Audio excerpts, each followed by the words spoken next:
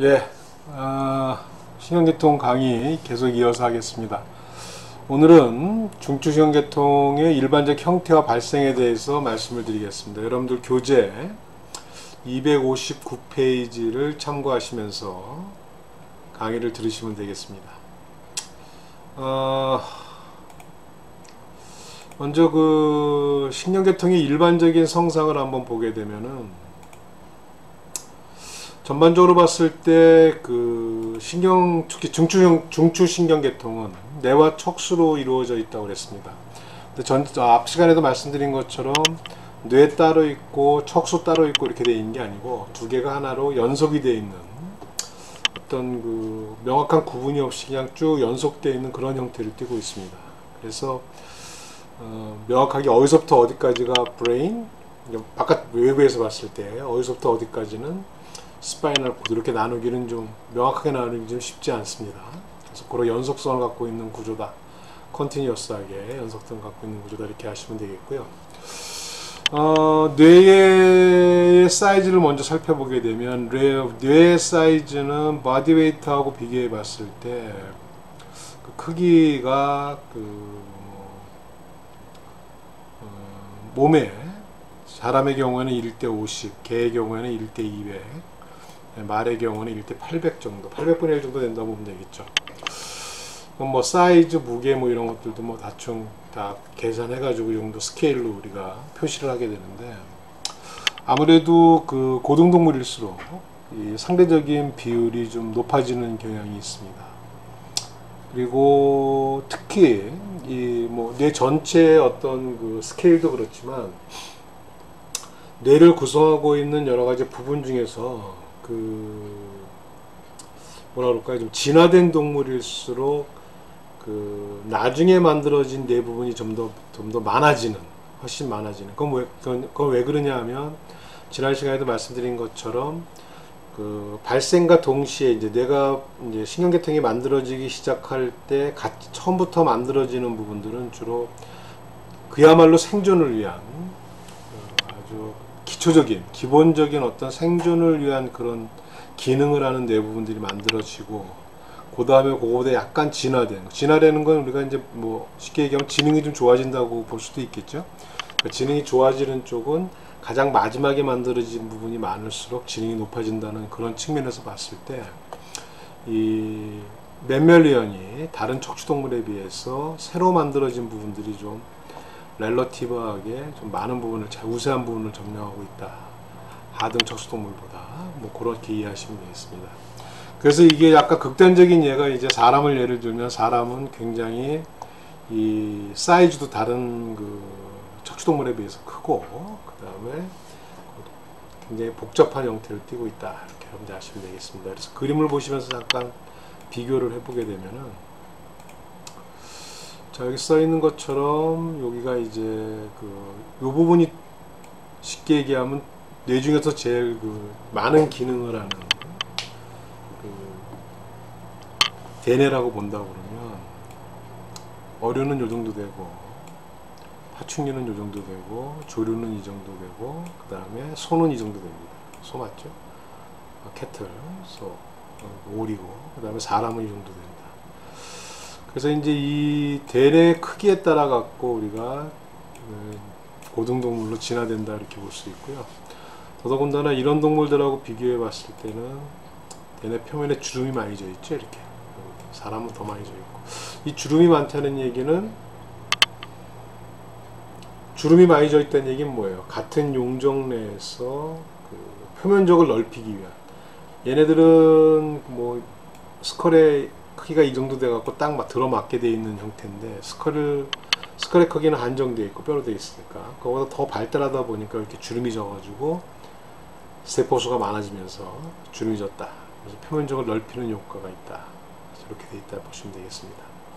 그래서 뭐 그런 정도로 이해하시면 될 것 같고요.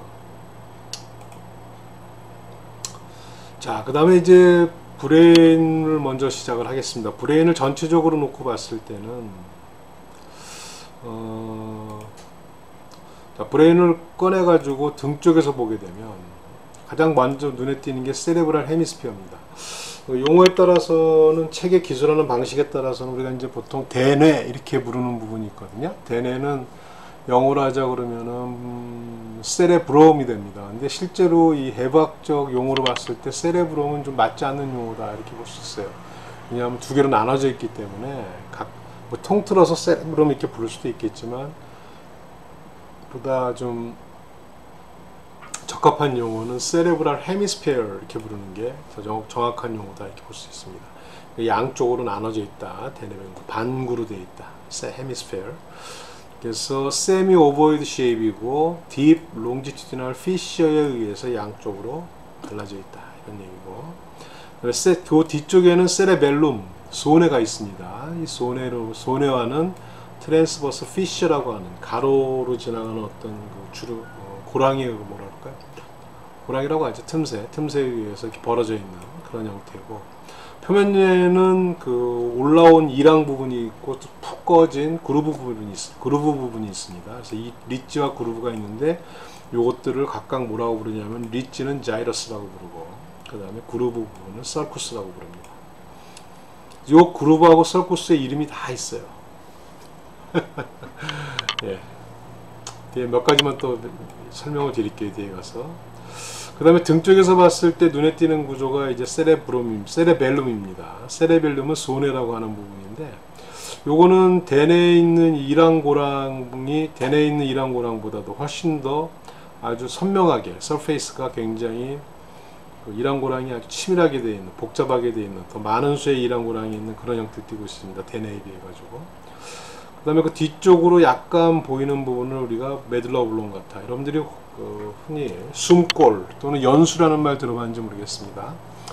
숨골과 연수에 해당하는 부분이 적은 부분만 약간 나타나 있는 부분이다. 등 쪽에서 봤을 때. 그래서 그림을 보게 되면은 여기 이쪽이 뭐 이만큼이 다 cerebral cerebrum 양쪽으로 나눠져 가지고 세, 각각의 cerebral hemisphere로 되어 있다 이렇게 보시면 되겠습니다. 그러니까 이게 자연스럽게 이게 longitudinal 그 fissure가 되겠죠. groove fissure가 되겠죠. 그렇죠?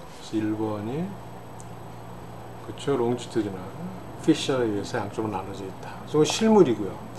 요거는 개의 그 brain이고 요것은 고양이의 그 brain인데 뭐 얼핏 봐갖고 차이가 좀 나죠. 그 brain 대뇌반구의 길이 차이가 좀 나는데 이 소냐 그 고양이하고 개 사이의 큰 특징은 아무래도 그 상대적으로 대뇌와 소뇌를 비교했을 때 상대적으로 소뇌가 좀 발달되어 있는 걸 볼 수 있습니다. 고양이에서 이 소뇌는 뭐 뒤에 말씀드리겠지만 어떤 역할을 하냐면은 이 운동을 코디네이션 해주는 역할을 해줍니다.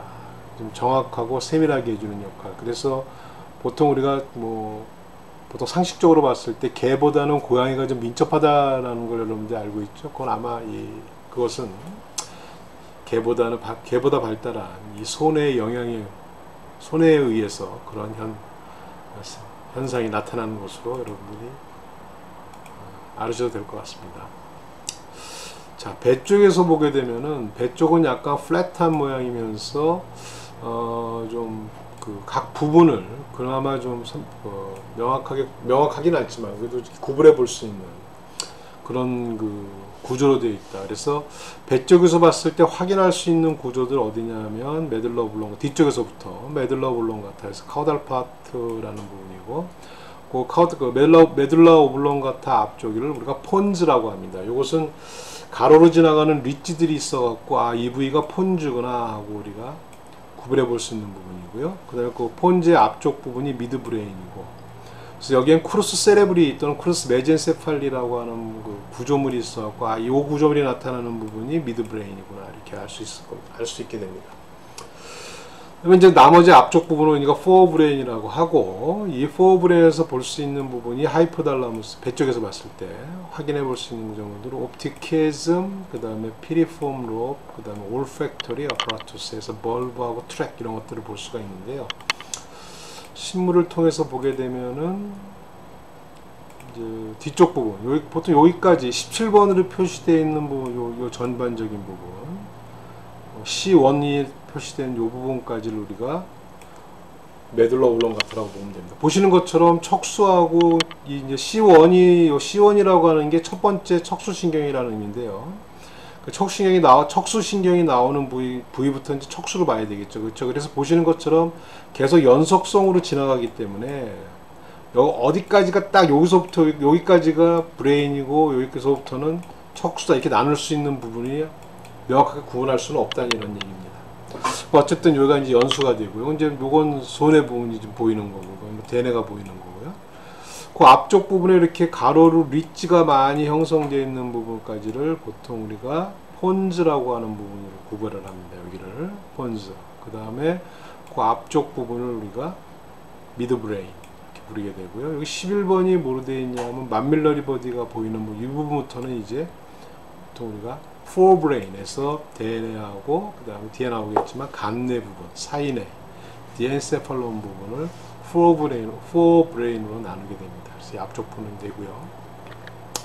그다음에 아까 말씀드렸던 olfactory apparatus는 이 부분을 얘기를 합니다.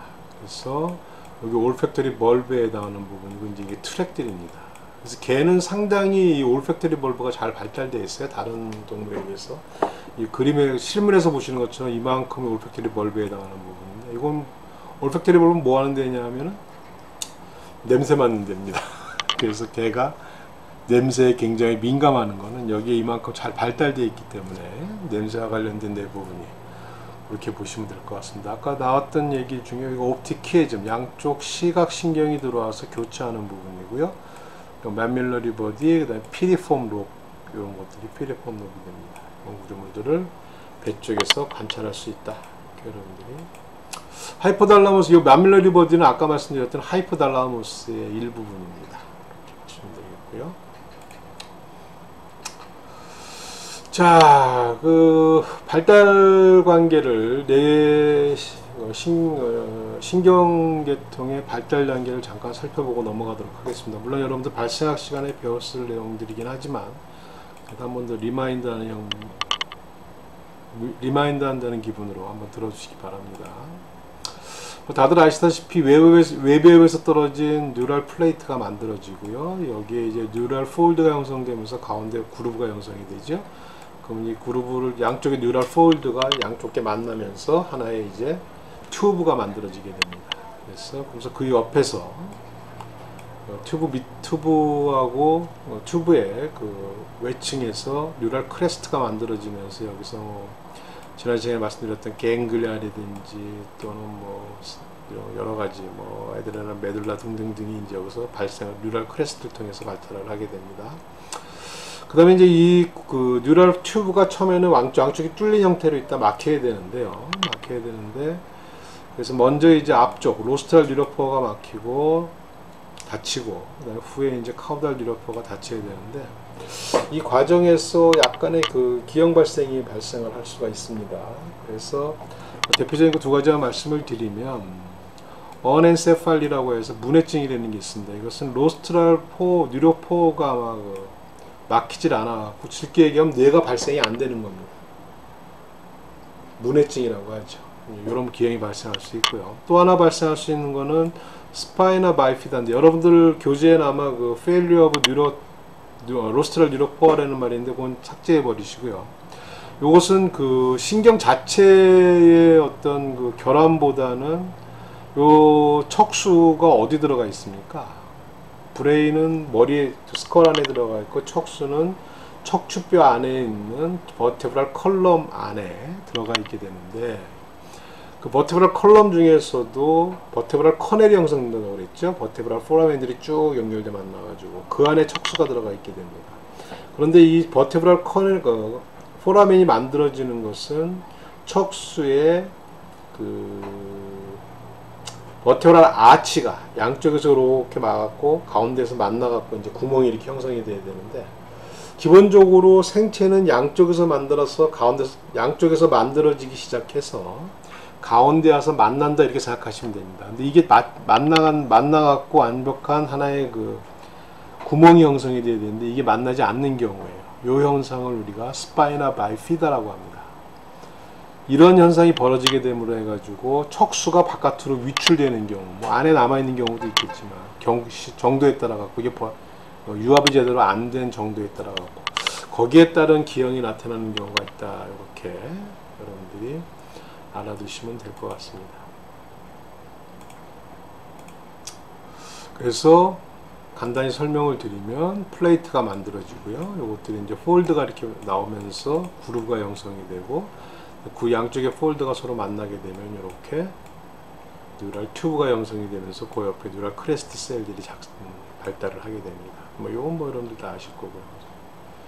어떤 그림일 겁니다. 만들어진다.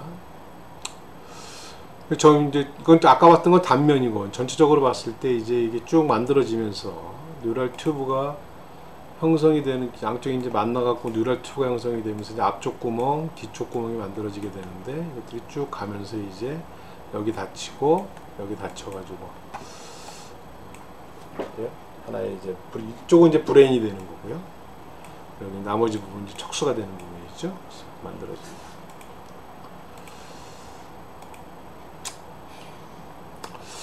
자, 그러면 이제 neural tube가 좀 더 발달을 해서 뒤쪽 부분은 뭐 그 척수로 고 원래 튜브 형태로 그대로 발달이 돼 갖고 척수가 되게 되는데 앞쪽 부분은 이게 이제 그 brain으로 발달이 돼야 되니까 관 구조보다는 다른 좀 additional한 어떤 그 developmen- development가 이루어지게 됩니다. 그래서 그 단계를 잠깐 살펴보시면 살펴보면 자, 뇌가 만들어지는 단계는 첫 번째, 이게 앞쪽 부분에 부풀어 오르게 됩니다.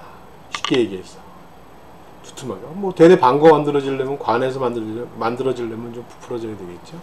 그래서 그 부풀어지는 부분을 우리가 뭐라고 하냐면, brain vesicle이라고 하고, 이것들이 약간씩 꺾이게 됩니다. 발달되면서. 그래서 그래서 rostral part가 이제 brain으로 되면서 brain vesicle이 만들어지고요. remaining part, rostral part 말고 나머지 부분들은 spinal cord로 이제 differentiation 되게 되는데 자, brain vesicle을 만들어진 뇌가 만들어지는 brain vesicle을 중점으로 설명을 드리게 되면 brain vesicle은 세두 단계로 나눌 수가 있습니다. 그래서 첫 번째 이제 부풀어 오른 부분을 primary vesicle, brain vesicle이라고 하고요.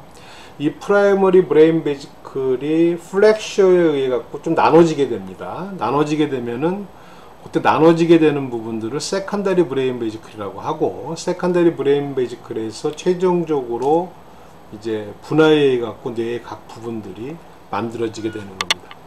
그래서 primary brain vesicle은 prosencephalon, mesencephalon, 그다음에 rhombencephalon 이렇게 세 부분으로 나눠지게 부풀어준 게 세 개가 부풀어온다 보시면 되는 거예요.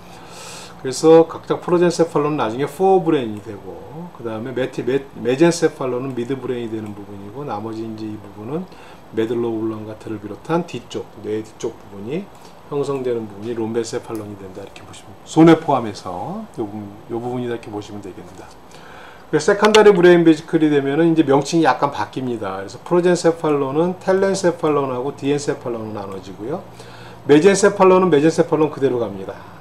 명칭의 변화 없이 그 다음에 rhombencephalon은 metencephalon, myelencephalon으로 나눠지게 됩니다. 이렇게 두 개로 그래서 이런 그 secondary brain vesicle로부터 시작해서 최종적으로 분해돼서 분화를 형성 분화돼서 만들어지는 구조물이 telencephalon은 cerebral hemisphere가 되는 거고요.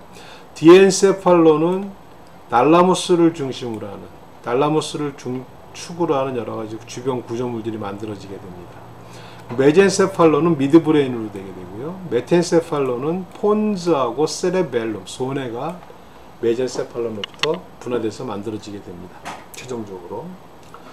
네, myelencephalon은 이제 medulla oblongata라고 하는 숨골, 연수 부분으로 발달이 되게 됩니다. 그림을 잠깐 보시면요. 간단히 도식화한 그림을 잠깐 볼게요. 보시는 것처럼 primary vesicle이 만들어져 이렇게 부풀어 오르는 겁니다. 여기, 여기, 부풀어 올라요.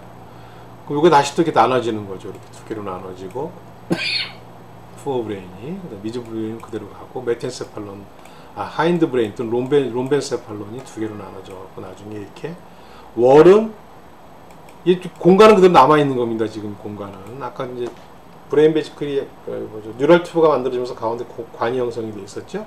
빈 공간이 그 공간 만들어지면서 wall은 이런 식으로 발달이 되고 아까 말씀드린 것처럼 그 다음에 이 cavity는 뭐가 되냐면 이 공간은 나중에 ventricle이라고 하는 뇌 안에 있는 공간이 만들어지게 됩니다. 이렇게 간단히 설명을 좀 드리고요.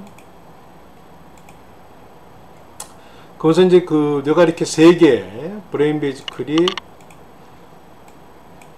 이렇게 만들어졌다가 이 플렉셔에 가지고 이제 나눠지게 된다는 얘기죠. 그래서 ventral flexure 한번 생기고요. caudal ventral 그 다음에 rostral ventral flexure가 만들어지고 마지막에 등 쪽이 하나 또 꺾어지면서 이렇게 뇌의 모양을 점점 만들어가게 된다. 이렇게 여러분들 이해하시면 되겠습니다. 자, 그러면 이제 neural tube가 이렇게 만들어졌어요. 그럼 이제 이것들이 이제 신경 세포 혹은 그 신경 세포에서 나오는 섬유들로 구성된 하나의 신경 조직으로 이제 만들어지게 돼야 되는데 그 단계는 어떤 식으로 만들어지게 되냐면요. 먼저 이 neural tube가 이제 세 개의 층, 몇 개의 층으로 나눠지게 됩니다. 세포의 구성에 따라 갖고 세포가 이동을 하면서 세포층이 만들어지고 그 세포에서 나오는 돌기들로 이루어진 그런 층이 또 만들어지게 돼서 전반적으로는 세 층이 만들어지게 되는데 그래서 어떤 어떤 어떤 층으로 만들어지냐면 ependymal layer, 그다음에 mantle layer, 그다음에 marginal layer의 세 층으로 구별이 되게 됩니다. ependymal layer, ependymal cell을 지난번에 저희가 제가 그 뭡니까 그 supporting cell 말씀을 드리면서 ependymal cell이라는 게 있다고 말씀을 드렸었어요. 그래서 이건 아까 말씀드렸던 그 brain 내에 있는 빈 공간, ventricle과 이렇게 ventricle을 lining하고 있는 층이라고 그랬습니다. 그래서 이것은 sheet like innermost layer. 그쵸? 아까 있는 ventricle 거기를 싸고 있는 것다. 그래서 뭐 neuroepithelial layer에서 연속된 것이다. 뭐 이렇게 보시면 되겠고요. 여기 이제 neuroblast들이 이제 neuroblast는 뉴 nerve cell을 만들기 위한 전단계 세포들이죠. 이제 이 세포들이 이제 이동해 와가지고 만들어지는 부분이다 이렇게 되고요. mantle layer는 뭐냐면 두 번째 그, 그, 그 공간은 가운데 있는 거죠. 공간을 중심으로 해서 바깥쪽으로 봤을 때 공간을 싸고 있는 층이 ependymal layer하고 그 바깥층에 있는 층은 mantle layer라고 하는데 여기에 바로 이제 신경 세포체들이 여기에 자리를 잡게 되는 겁니다. 신경 세포체가 자리, 자리 잡게 되면서 이제 gray substance라고 부르게 되는 거예요. body of 세포체가 존재하게 됩니다. 그래서 이것은 배열이 등 쪽 column하고 배 쪽 column으로 나눠지게 됩니다. 그림을 잠깐 보시면 여기까지 볼까요? 자 보시는 것처럼 이게 이제 neural tu 전체 neural tube가 이제 분할을 시작을 하는 거예요. 관 모양에서 약간 변하면서. 그래서 아까 이제 그 양쪽 그 neural tube 안에 한 비, 있는 빈 공간, 이게 central canal이라고 하는 부분. 이게 뇌 쪽으로 가게 되면은 이제 그 ventricle이 되는 거고, 이게 척수에 그대로 남게 되면은 central canal이 되는 부분입니다. 그래서 이 central 이 중심부에 있는 이 빈 공간을 싸고 있는 이 층이 ependymal layer가 되는 겁니다. 이 층이 ependymal layer. 그리고 그 밖, 여기서부터 이제 neuroblast들이 자라갖고 신경세포가 되는 거죠. 근데 이 신경세포들이 even하게 되어 있는 게 아니고 약간 등 쪽 부분하고 배 쪽 부분으로 나눠지게 됩니다. 물론 이 가 쪽에도 약간 남아있긴 하지만 대부분의 세포들이 이렇게 구별이 되게 된다는 얘기죠. 그래서 각각 dorsal column, ventral column. 왜 column이란 말을 쓰냐면 이건 단, 쓰냐 하면 이건 단면이기 때문에 이렇게 보이지만 실제로 이건 길게 되어 있는 부분이니까 전반적으로 보면 하나의 column을 형성을 하겠죠. 세포층들이. 그래서 column이라는 말도 쓰고 column이라는 말도 쓰고 lamina라는 말도 씁니다. 여기 alar. 그래서 보통은 dorsal column 또는 발생 단계에서는 여기를 alar plate, 여기를 basal plate라고 부르기도 합니다. 분화가 끝난 다음엔 alar alar basal 이런 말 안 쓰고요. dorsal column, ventral column 또는 dorsal horn, ventral horn 이렇게 부르긴 하지만 발생 단계에서는 여기를 alar plate, alar lamina 또는 al, plate가 lamina라는 뜻이니까요. alar plate, basal plate 이렇게 부르기도 합니다. 그 다음에 이 바깥쪽은 뭐가 돼요? 이 바깥쪽이 이제 marginal layer가 됩니다. 이 세포층을 제외한 요 바깥 요만큼 여기서부터 여기까지를 여기는 뭐냐 하면은 이 신경세포체로부터 나오는 섬유들로 의해서 구성된 부분이에요. 여기는. 그래서 여기가 이 신경세포체가 있는 요 mantle layer가 gray matter라고 부른다고 그랬죠. 나중에 세포체가 모여있어. 여긴 뭐라고 뭐 어떤 식으로 되냐면 여기는 섬유들이 모여져 있는 부분이니까 white matter가 되는 겁니다. 정리를 하면 발생 단계에서는 neural tube가 발생할 때는 요게 alar plate, 아, ependymal, ependymal layer, 마, 어, mantle layer, 그 다음에 marginal layer 세 층이 되고 이게 이제 분화가 돼서 성체가 되게 되면은 여기 그냥 central canal이 되고 ependymal cell들이 여기 둘러싸게 되고요. 여기는 dorsal column 또는 dorsal horn, 여기는 ventral column 또는 ventral horn. 여기는 이제 뭐 좀 더 세포들이 많이 부, 그 척수의 부위에 따라 갖고 세포 여기서 세포가 발달하는 경우가 있고 여기에 세포가 발달하지 않는 부분이 있습니다. 세포가 발달하는 여기 신경세포들이 발달해서 하나의 층을 형성하게 되면 여기를 레이트랄 혼이라고도 부릅니다. 이렇게 세 층으로 나눠지는 부분. 그래서 발생 단계에서는 이렇게 세 개가 그래서 보시는 것처럼 멘틀레이아는 becoming the gray substance에서 뉴런의 body 신경 세포체가 주로 여기 위치를 하게 되고요. 그래서 dorsal column과 ventral column으로 arrange가 되고 그 다음에 marginal layer는 white matter가 된다 그랬어요. 주로 white fiber들이 여기 자리 잡게 됩니다.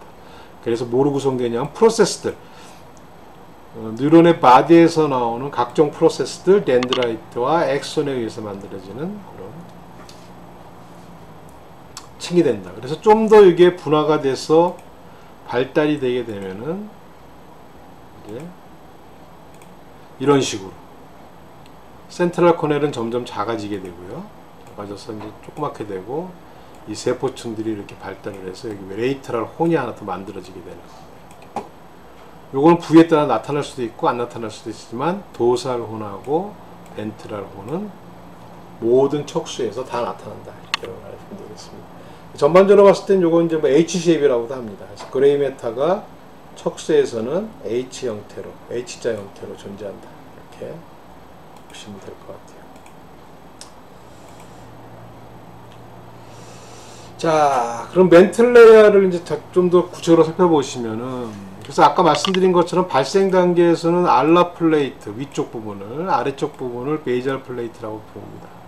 그래서 나중에 dorsal horn column이 되는 부분이고요. 그래서 주로 이쪽에. 근데 여기에 신경세포가 주로 이제 신경세포체가 존재한다고 그랬는데 이 alar plate에 자리 잡는 신경세포체들은 기능적으로 봤을 때 주로 afferent 뉴런들이 많이 들어가 있어요.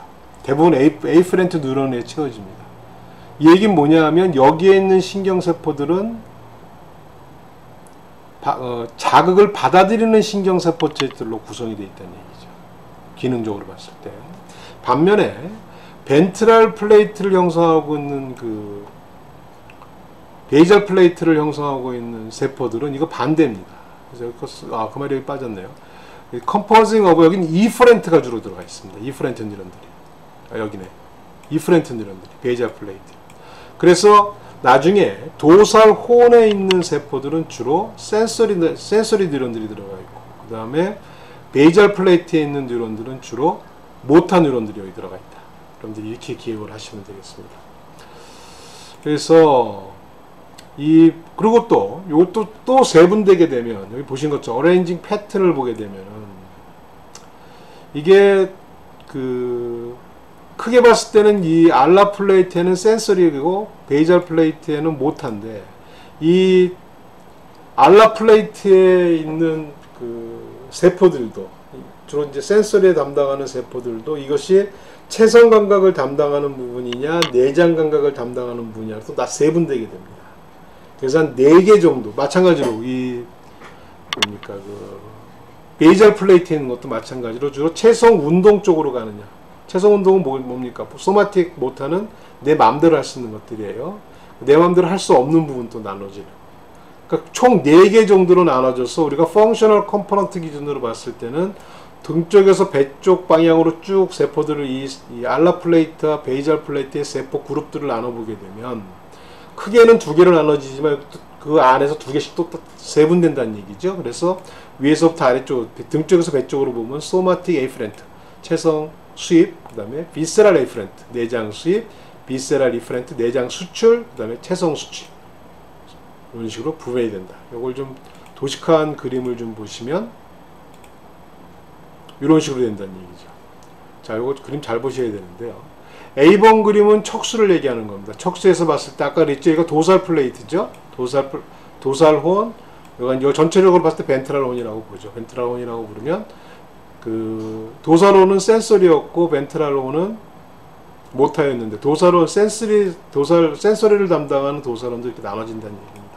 그래서 이 A번에 해당하는 부분은 주로 체성 감각, B번이 내장 감각, C번은 내장 운동. 내장 운동이니까 뭐예요? 이거는 자율신경에 해당하는 거죠. 자율신경. 그 다음에 네 번째 여기가 체성 운동을 담당하는 이렇게 네 개 크게 네 개의 그룹으로도 또 나눠질 수가 있다 이런 얘기입니다.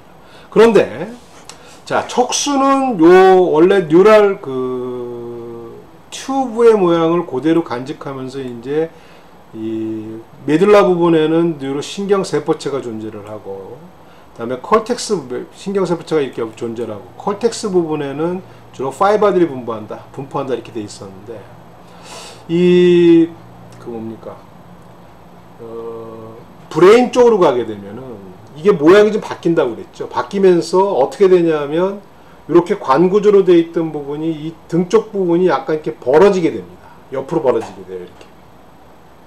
그러니까 원래 이 부분이 버티컬한 방향으로 배열되어 있던 이 세포층이 약간 옆으로 벌어지는 형태로 벌어지게 됩니다.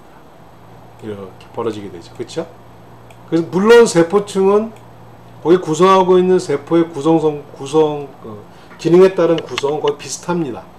그래도 러프하게 보면 그래서 이제 요게 이렇게 옆으로 벌어지는 형태로 나와 이게 벌어지는 형태로 되다 보니까 배열이 이런 식으로 배열되어 있는 겁니다. 순서대로. 요거, 요거는 이제 뇌로 들어가는 부분. 정확히 말씀드리면 그 뇌 중에서도 대뇌 방구 빼고 나머지 부분 대뇌하고 소뇌 빼고 나머지 부분의 세포 배열은 대충 이런 방식으로 배열이 된다. 기능적으로 봤을 때 세포 무리가 등 쪽 부하고 배 쪽 부리 이렇게 된다. 이해하시면 되겠습니다. 그래서 그 그림 설명을 잘 보시면은 연수 부분에 가서는 있죠. medulla oblongata에 가서는 척수의 배열이 옆으로 벌어지는 양상으로 이렇게 나타난다.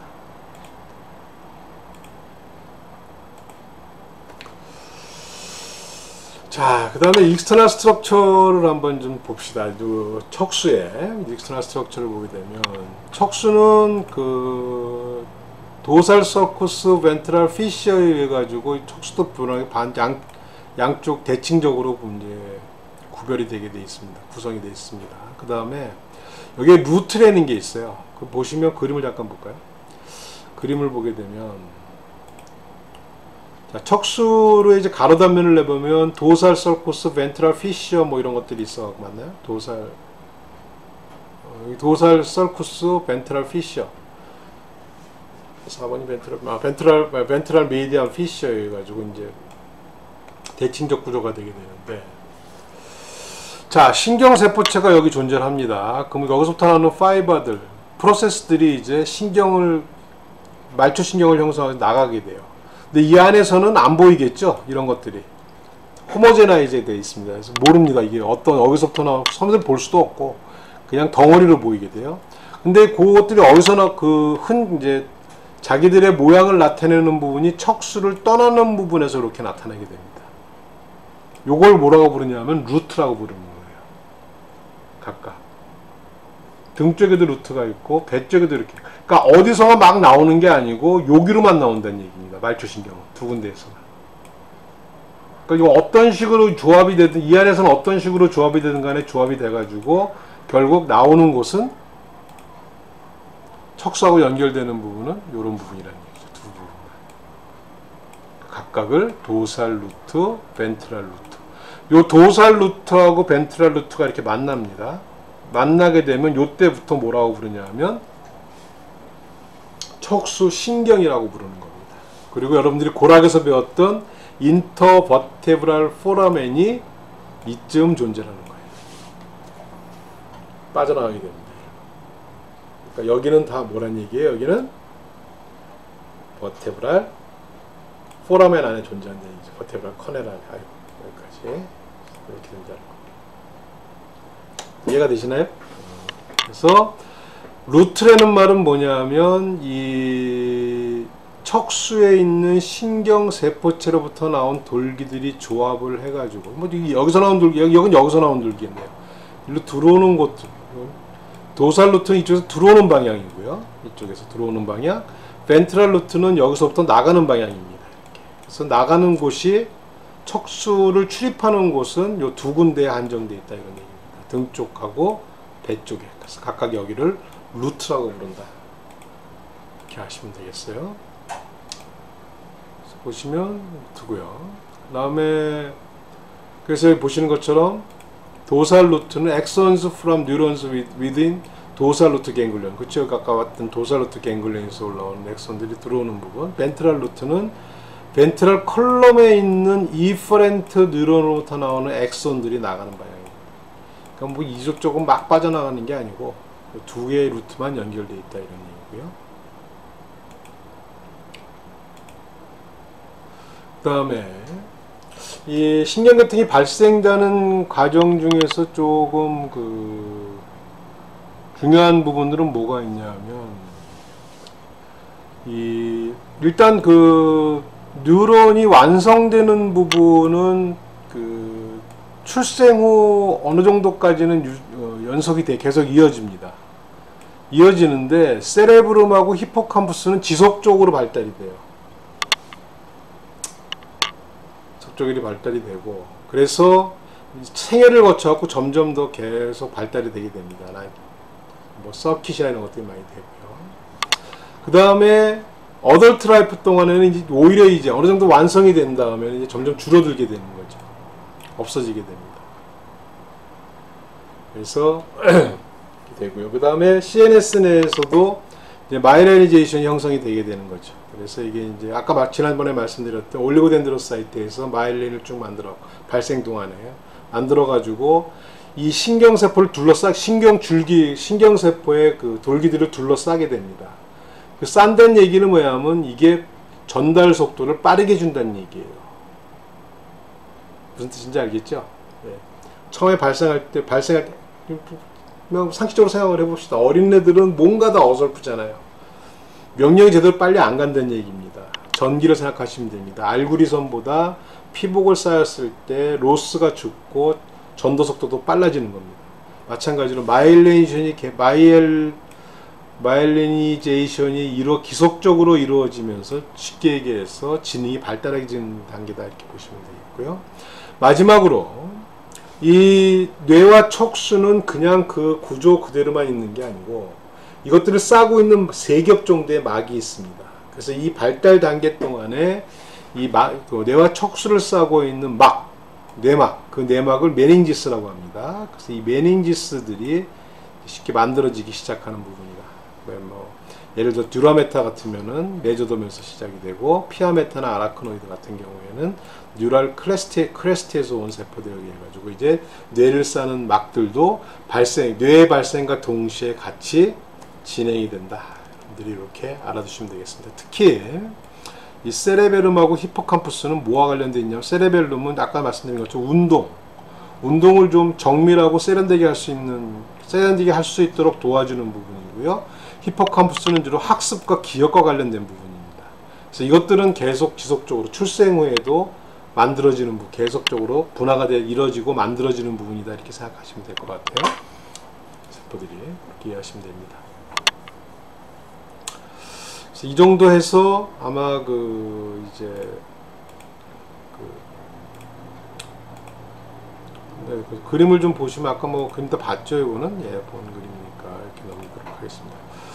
그래서 몰포로지하고 엠브로지에 대해서는 여기서 마치도록 하겠습니다.